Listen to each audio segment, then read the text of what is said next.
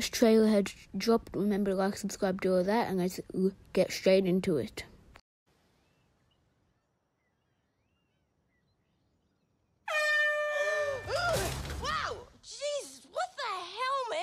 Control and the overwhelming feelings of rage. No, a normal Cool to see of that they have. Mark Ruffalo in back to Gen 4 in here, as I reckon they'll try horn to really use him a lot more now, as they have Disney Plus, so they can get around you Universal's This thing. But this also does look pretty funny, and the CGI on. looks much better than the first couple photos we got of it. Yeah. Who's your best friend? Nikki. Eh, spandex. Spandex is your best friend. Being a Hulk asks for balance. And it took a while for Hulk to find balance. You have so much more to learn. Yes. So I'm clearly nailing it at all these things. If you want to go back to your life as a lawyer, I, I respect that. He doesn't mean that.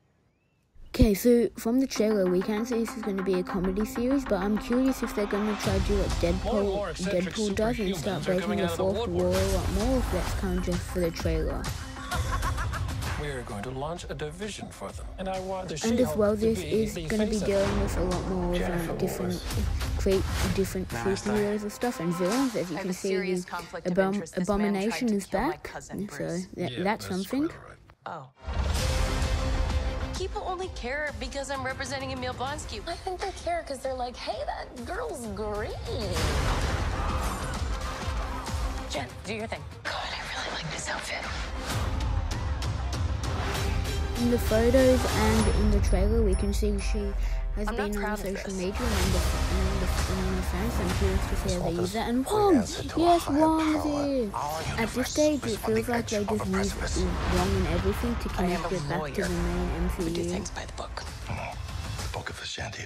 No, the book of American uh, laws. Whether you like But it or no not, you're complaints, now a is very superhero. funny. Let's do this. Friend you had in high school? Who was way cooler than you were attractive, got all the attention from everyone. Hello.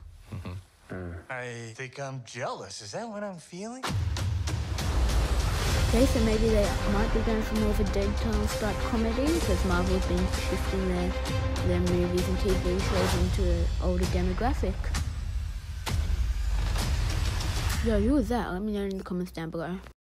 So to give my thoughts on this trailer, it does look pretty good, and the show does look very. The show looks funny, and they might be going with that angle for the villain as well. As the as the person who plays the villain plays Tahani Al Jamil in The Good Place, and she is very funny. So excited to see that, and yeah, over the CGI. I might have mentioned this earlier, but CGI definitely looks better than it did in the um the early photos we got, which are very which I'm very happy with. Let me know what you guys think in the comment section down below. I'll see you in the next one. Subscribe.